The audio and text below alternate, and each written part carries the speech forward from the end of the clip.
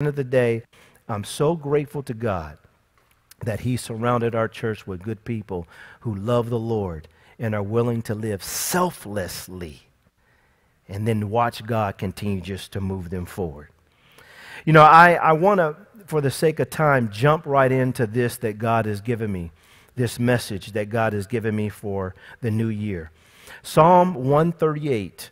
We're going to read Psalm 138, and we're going to get down in here. Psalm 138, we're going to read the whole psalm. And this psalm is, is a psalm that David wrote as he was expressing the Lord's goodness to people that are faithful. And God responds to people that are faithful. He says here in verse 1 I will praise you with my whole heart before the gods, little g. He says, I will sing praise to you. I will worship toward your holy temple and praise your name for your loving kindness and your truth. He says, For you have magnified your word above all your name. Psalm 138. He says, In the day when I cried out, he says, You answered me and made me bold with strength in my soul. He says, All the kings of the earth shall praise you, O Lord, when they hear the words of your mouth. Yes, they shall sing of the ways of the Lord, for great is the glory of the Lord. Though the Lord is on high, yet he regards the lowly, but the proud he knows from afar. Now, watch this, y'all, verses 7 and 8. He says, Though I walk in the midst of trouble, you will revive me. You will stretch out your hand uh, against the wrath of my enemies, and your right hand will save me. And then he makes this statement. He says, The Lord will perfect that which concerns me. Your mercy, O Lord, endures forever. Do not forsake the works of your hands. He says, The Lord will perfect that which concerns me. 2021 for us as a church is the year of perfection. Oftentimes, when we look at our lives, we fail to realize the complexity of our lives. Our lives are really complex. There's so many things that go on in our lives domestically, financially, health from a health standpoint, raising children, mentally, spiritually, vocationally. At any given time, our life has so many things going on all at once. And one of the things that happens is, saints, is we have to realize that, that in all these various areas, God is, He's working, He's perfecting us. He's perfecting us in areas. But the church has done a bad job of looking at this particular word, perfection or perfect, we start to look at it as a bad word, as it's something that is not attainable, something that cannot be accomplished in our life, and something that, that you know, how can you say that, brother? And one of the things that we have to do is get back into the language that God uses. We want to use biblical terms because if God uses his biblical term, I want to understand this term because I want God to work that in my life as He's working on all these various areas in my life. At any given time, I could be doing good in this area, but then also doing eh, not so well in this area. And there's areas in my life where I'm blossoming and I'm blooming, but then there's areas in my life that seem kind of dead. And so when we're living through our lives, sometimes we have all this going on and we don't realize that there's areas in your life that God is perfecting. He desires to perfect, and He wants to bring us to that place in our lives where when we start to use the word perfection, we start to uh, uh, direct it towards us towards my personal life.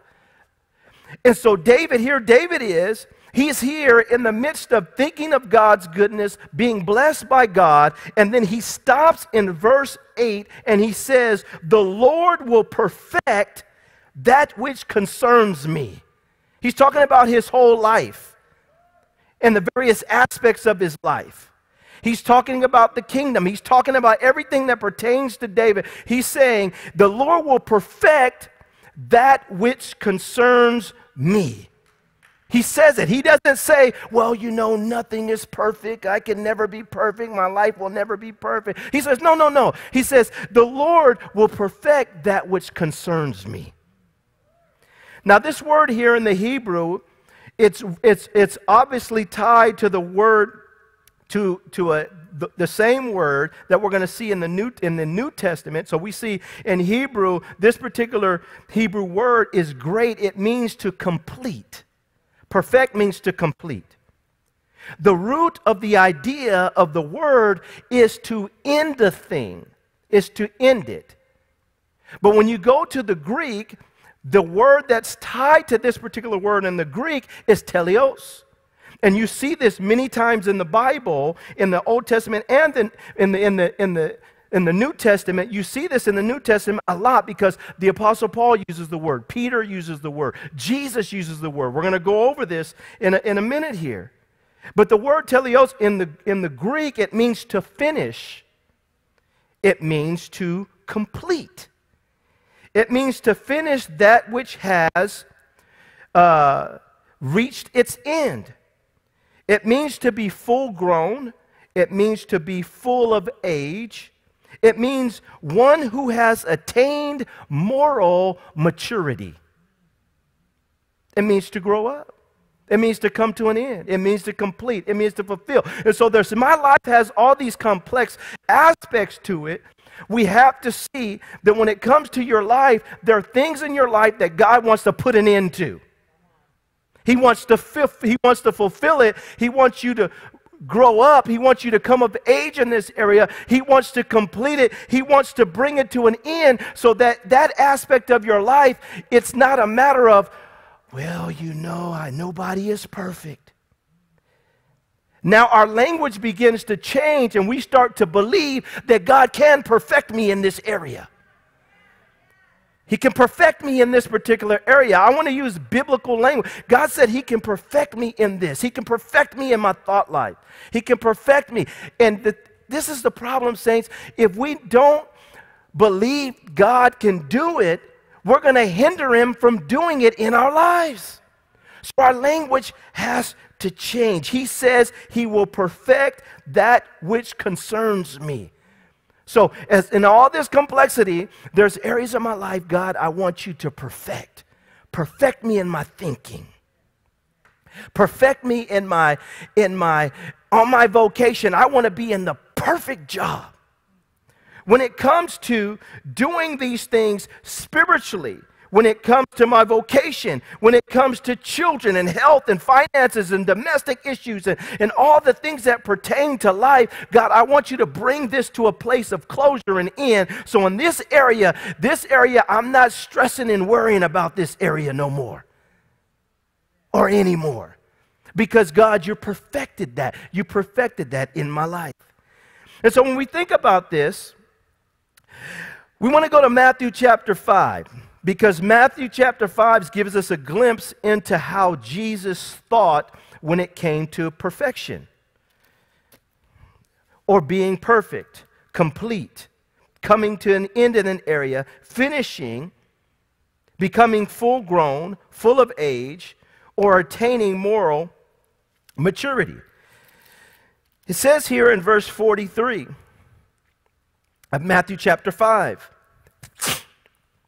he says, You have heard that it was said, You shall love your neighbor and hate your enemy. But I say to you, love your enemies, bless those who curse you, do good to those who hate you, and pray for those who spitefully use and persecute you, that you may be sons of your Father in heaven. For he makes his sun rise on the evil and on the good, and sends rain on the just and the unjust. For if you love those who love you, what reward have you? Do not even the tax collectors do the same? And if you greet your brother only, what do you do more than others? Do not even the tax collectors do so?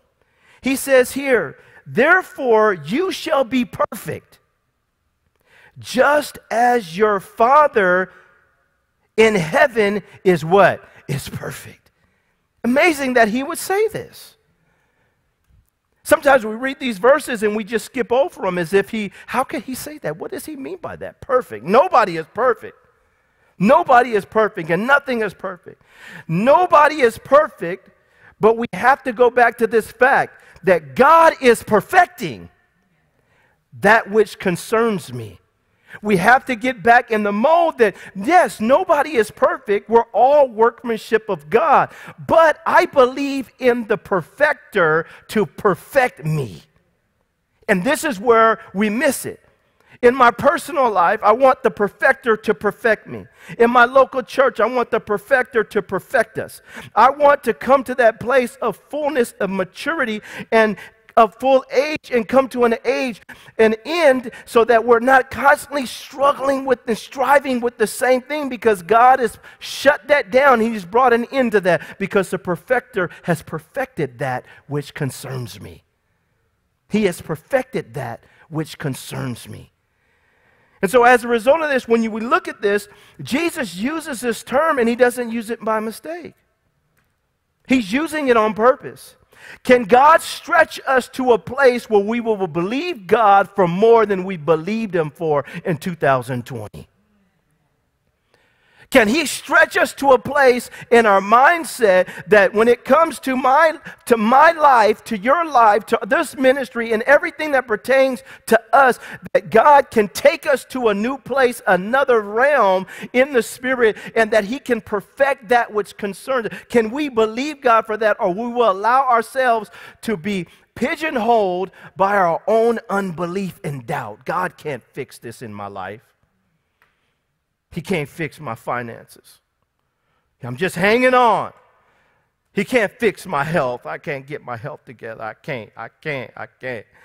He can't, he can't fix it. He and but I love God. I love God. God is good. God is good. But but but can he perfect that which concerns you?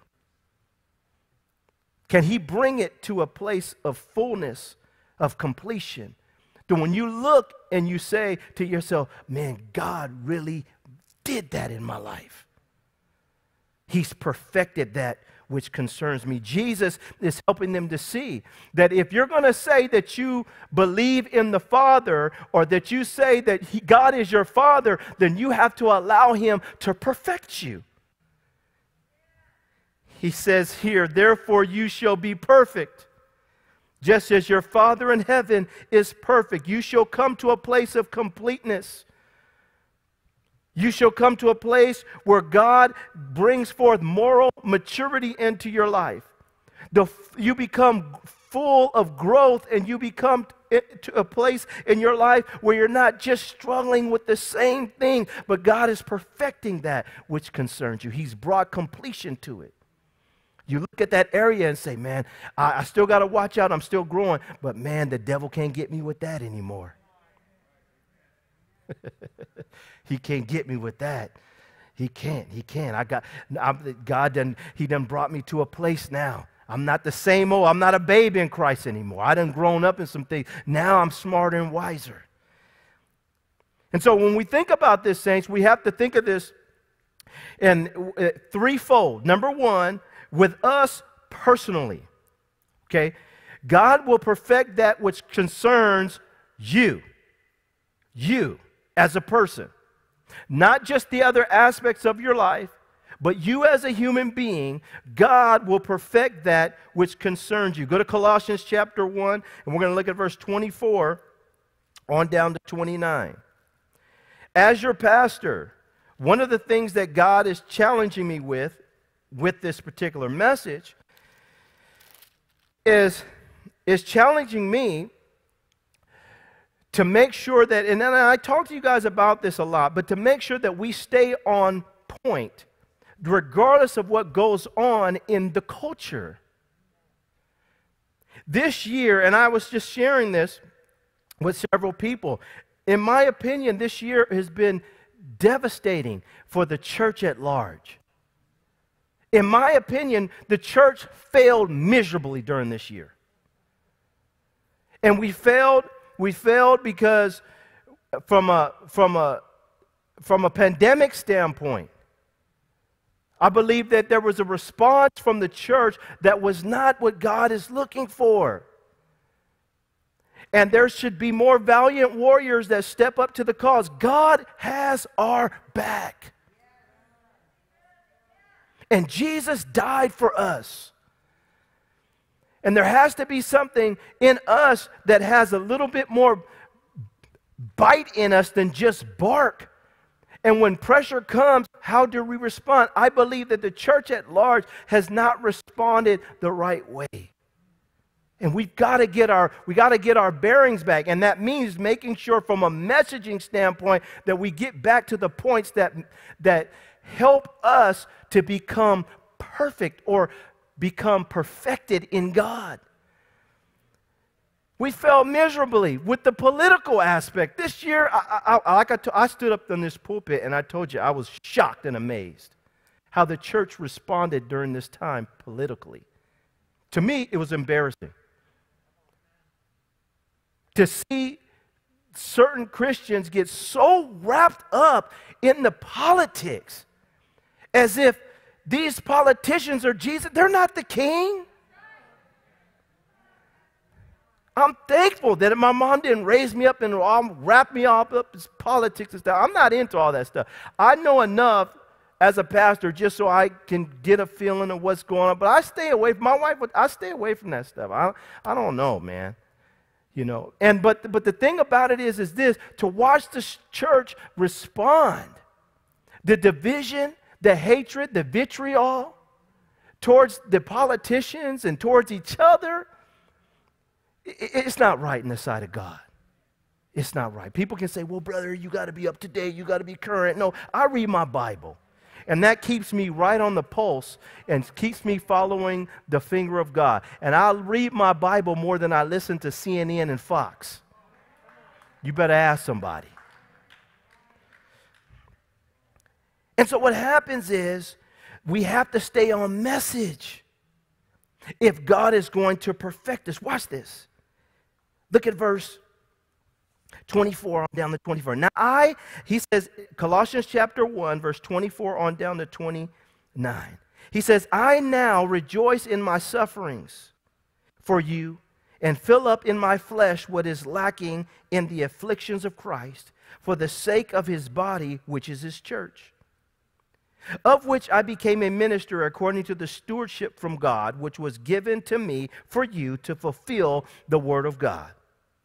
The mystery which has been hidden from ages and from generations, but now has been revealed to his saints. To them, to the saints, God willed to make known what are the riches of the glory of this ministry among the Gentiles, which is Christ in you, the hope of glory. He says, now watch this, y'all. He says, Him we preach, warning every man and teaching every man in all wisdom, that we may present every man what, y'all? Perfect in Christ Jesus. To this end, I also labor, striving according to his working, which works in me mightily. So, the God is perfecting you. And he's going to do it through preaching that pertains to him. Paul says, Him we preach. He didn't say politics we preach. He didn't say denomination we preach. He didn't say this we preach or that. He says, Him we preach. And when we begin to find out who Jesus uh, is, we'll begin to reflect Him in the earth, and that is what is necessary for the perfecting is that we have to, you are changed into the image that you're constantly beholding. We want to behold Him. We want to preach Him. We want to talk about Him, His glory. We want to talk about those things that pertain to Him. And as we talk about Him, then we start to be changed into His image from glory to glory. God starts to perfect us. But the problem is, is we're consumed with all this other information, and we get so consumed that we don't allow the image of Him to be before us, so that we're constantly changed into His image from glory to glory. I want to preach Him. We preach Him. We want to hear about Him. We want to sing about Him. We want to rejoice in Him. Can I have an amen, y'all? We want Him. We want to get to know Him. We want to slow our lives down and just get to know Him more. But I love the Apostle Paul. He says, Him we preach. This helps to be, cause people to become perfected in Him. He will perfect that which concerns me. People are perfected by allowing the preaching of Him to be released and receiving that. He says, Him repreach, and then he says, warning every man. Warning every man. The gospel and the message of Christ also comes with a warning. And it should. If God is trying to perfect us, He's going to give us warnings along the way. Paul wasn't afraid to give warning. Hey, if you do that, this is what's going to happen. You got to be careful about that. You got to be watchful about that. And the problem that we have is that people think warning is a bad thing when it's actually an expression of God's grace towards us to help us not to go down the wrong path. Mm, mm, mm. I love warnings. God says, hey, don't do that. Oh, oh my bad. So we need warnings in life. But the gospel, the message uh, that comes across the pulpit has to come with warning because we're trying to perfect people. And so Paul says, he says, Him we preach. He says, warning every man and teaching every man. We need teaching.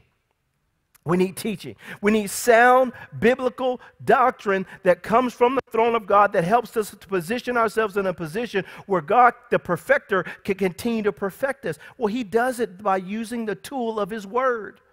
And as we go into 2021, we have to understand I need to hear Him. I need to hear about Him. I need warnings in my life. God, send warning. I want all the warnings that I need to make sure I stay on the path. And I want sound teaching. I want teaching that comes from your throne. I'm not just going to eat everything this year. We sat there, people have sat there and watched the newscasters and just ate everything they said. Then a spirit of fear comes on the people. Then people fall away and people get caught up. And the next thing you know, you just watch people. And I say, man, people have to get back to hearing the teaching that comes from the throne that is inspired by the Holy Spirit. We need that message to, so people can be perfected. He says, teaching every man. And he says this, the Apostle Paul says this. He says, in all wisdom that we may present every man perfect in Christ to this end also. He says he says I also labor striving according to the working which works in me mightily. There's a power that's working in me mightily but in this I'm also laboring and striving because I understand that it's going to take this to see people come to a place of maturity or completion or end in various aspects of their life there's aspects of their lives where it's time for that season to be over. That I've grown beyond that.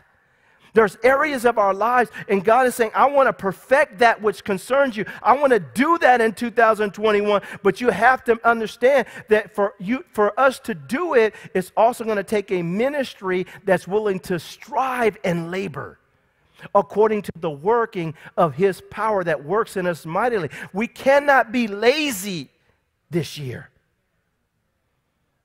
We cannot be slothful this year. People are dying and they are going to hell. And it's our job as a church community to have people that are willing to labor and to strive according to the power that's working in them to help to see souls saved. People are dying. And we can sing our songs, it's a beautiful thing, but we also have to sing our songs and then couple that with God, help me to get out here and work to see somebody give their life to Jesus. And in 2021, we have to realize that that's part of the perfecting uh, aspect of ministry. So, this is what God is doing in us. But we also have to understand that he's also doing things for us. Romans chapter 20, Romans chapter 12, verses 1 and 2.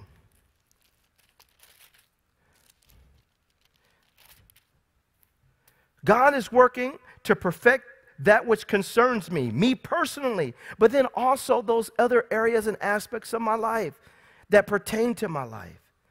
He says in Romans chapter 12, verse 1 and 2, I beseech you, therefore, brethren, by the mercies of God, that you present your bodies as living a living sacrifice, holy, acceptable to God, which is your reasonable service.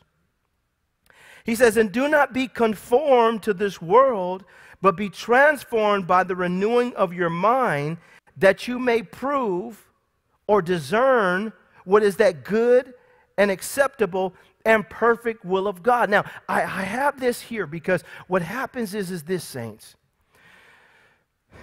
The, the, the perfect will of God is where we want to sit in our lives because everything that you need that pertains to your life is tied to you being in the will of God. I can't expect God to bless me, prosper me, and do those things from an external aspect of my life that pertain to my life and perfect those things if I'm constantly out of God's will in my life. Striving to do my own thing and striving to do what I want to do. There's no grace tied to your plans. The, all the grace is tied to His plans.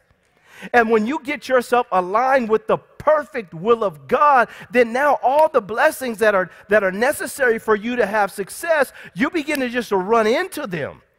And this is what we need. We need to get back to a place where we're constantly aligning ourselves with God's perfect will. God, help me to find your perfect will in my life. I want to be right in the center of your will. Every bit of provision and strength that you need is tied to that place. It's tied to that place. You see God, you find yourself running into God's blessing when you know you're just in the center of God's will. You don't, and then and then the blessings come and there's not a striving associated with the blessings. They just start taking you over when you know you're in the will of God.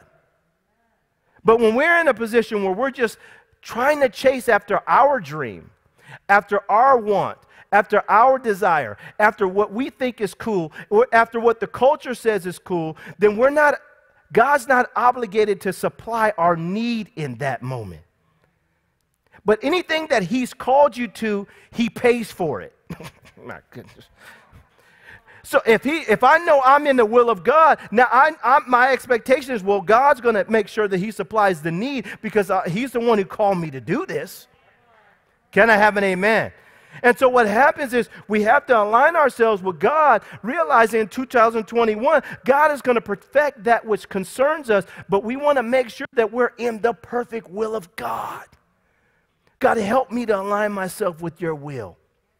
I can't just keep going down these paths and then I want to be in the center, God. And then help me order my steps. Help me to be right where you want me to be when I'm supposed to be their so that God, your blessing just overtakes me. And so when he's perfecting that which concerns me, he's perfecting me, but then all my circumstances and situations, there perfection comes as a result of me being in his perfect will. And then the last area that I want to address tonight is the church. You're a part of vision. You're a part of vision. You're a part of God's purpose in the earth that He shared with me, that I share with the elders and share with the congregation.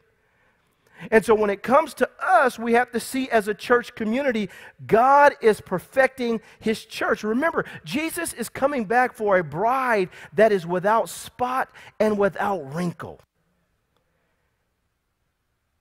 He says, without spot and without wrinkle. He's coming back for a people, for a bride that has made herself ready. And so what's happened is, is we've confused the, the church that Jesus is building with the church that the devil is erecting and the false church and the, the church that is riding on the beast, the Bible says in book of, of Revelation 17. We have to get ourselves out of that and get ourselves aligned with the true church of God and realize that God's trying to do something special with us and it involves perfecting us. Go to Ephesians chapter 4, and we're going to look at verse 7 on down.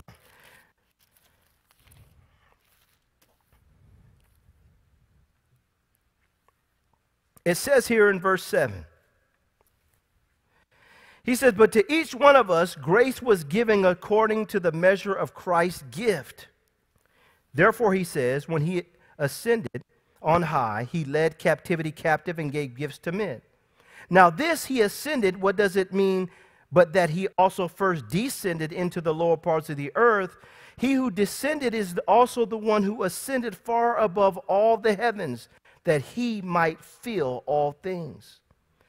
And he himself gave some to be apostles, gave some to be prophets, some evangelists, and some pastors and teachers. He says, for the equipping of the saints, for the work of ministry, for the edifying of the body of Christ, till we all come to the unity of the faith and of the knowledge of the Son of God, to a perfect man, to the measure of the stature of the fullness of Christ. That's the goal. That's the goal. The goal isn't just to have a big church. The goal isn't to have fancy buildings and, and smokes machines and instruments, and all those things are good. We appreciate those things. But the goal for Christianity is us to grow up and to become complete in Christ. He said, to the measure of the stature of the fullness of Christ, that we start looking like Jesus. That when people think about you, they think about Jesus. That when they think about our church, they say, Jesus is in there, Jesus is with them. Jesus Christ is there. He's healing people, delivering people, setting people free. He's perfecting people, getting them off drugs. He's changing people's minds. He's delivering people. Jesus is with those people and they're beginning to act like Jesus. And Jesus is in their midst. And that Jesus is walking with them and talking with them. That when they get up in the morning, Jesus is there. When they go to bed, He's hovering over them. That His presence is in them.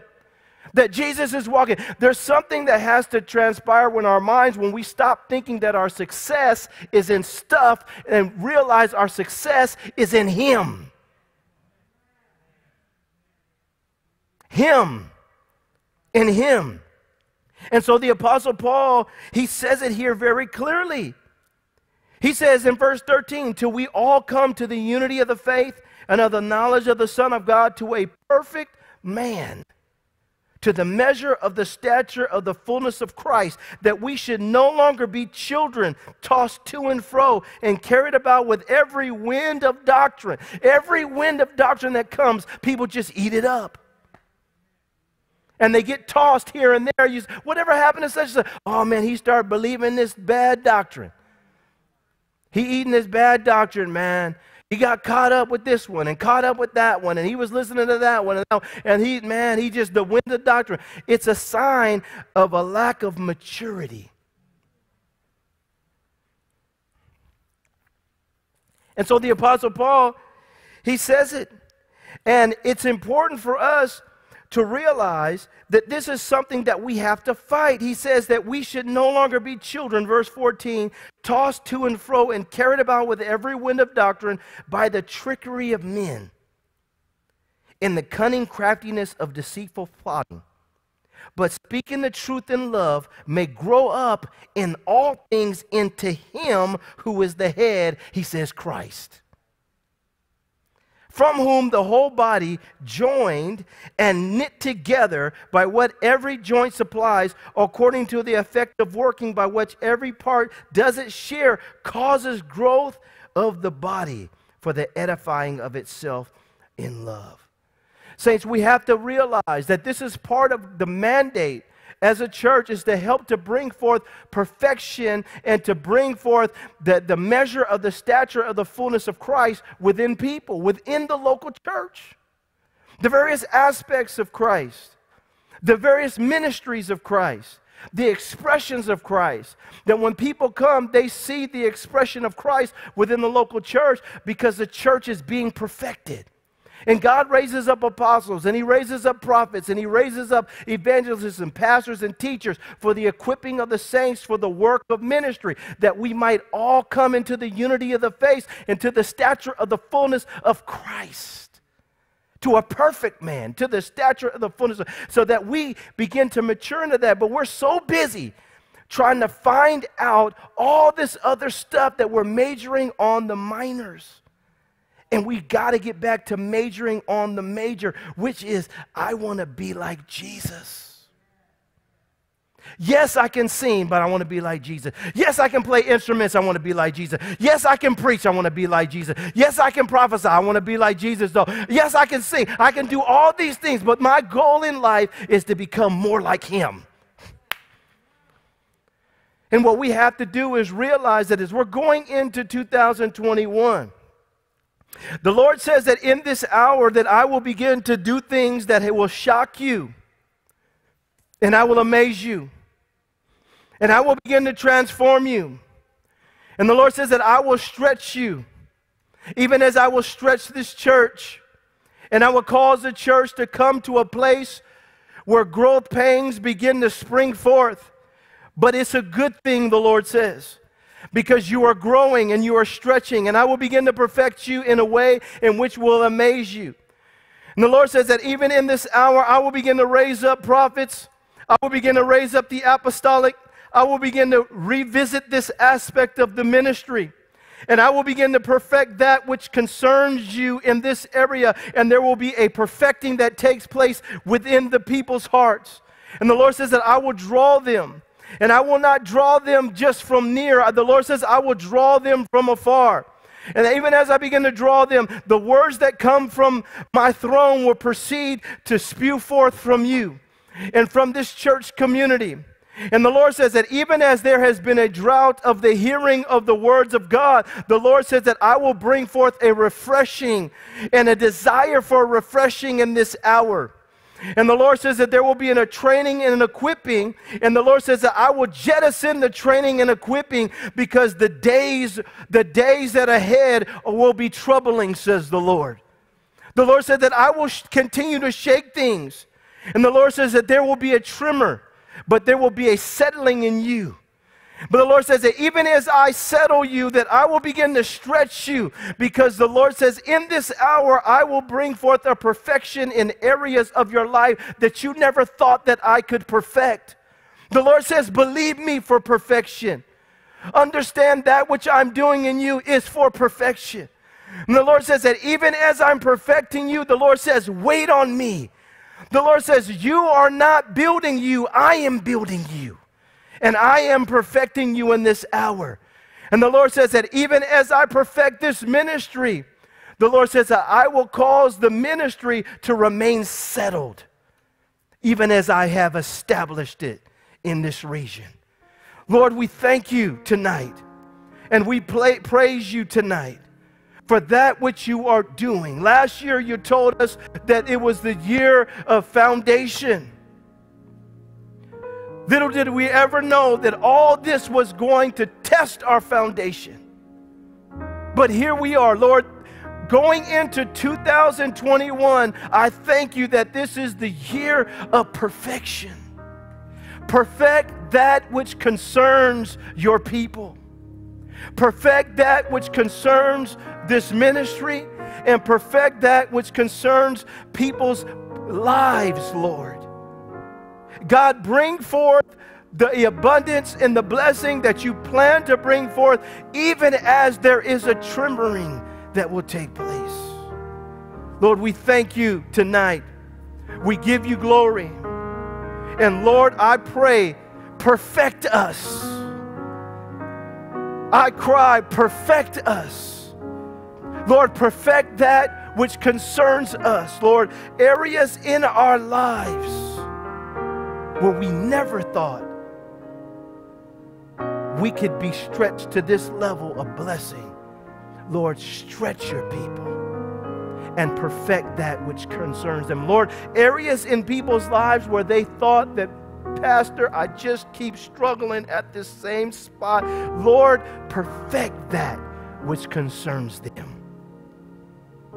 Cause them to move beyond it, to complete, to finish, to Lord, to end their personal lives, that they would come to an end, that they would grow, become full.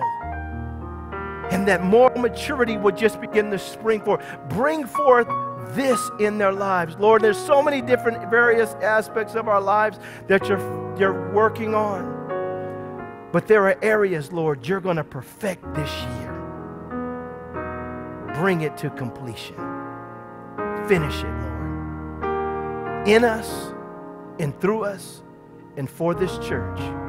God, we just give you glory today and we honor you for 2021, the year of perfection. In Jesus' name we pray. Amen. Come on, worship team. Come on, let's bring in. We got about three minutes. Let's bring in the new year shouting our praises and glorifying the Most High God and blessing His holy name.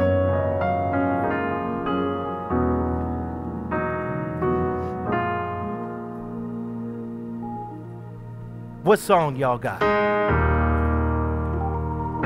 Oh, I, I know that one. I know that one. You gonna sing? Come on, y'all. We got three minutes. Let's do it.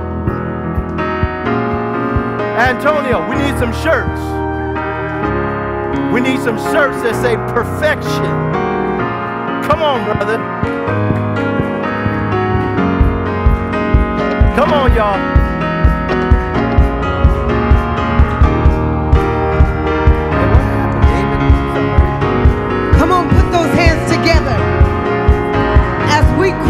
earth rejoice. Let the earth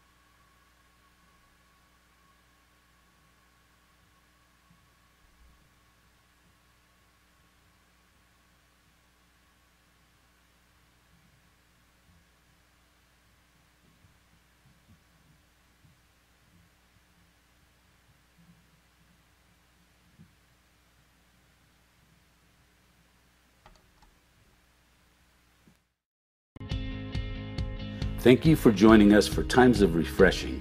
This program is a production of the Well Christian Community. You can learn more about our church and the various ministries we offer by visiting us on the web at www.thewellchurch.net or by calling our office at 925 479 1414. Or if you're looking for a church home or visiting the Livermore area, we would love for you to come by and visit us. Our service times are Sunday, 10:30 a.m. We are located at 2333 Nissen Drive in Livermore, California, 94551. For direction to our church, call us at 925 479 1414. Until next time, may Jesus Christ be highly exalted in your life, and may His Word bring you a peace that transcends all understanding.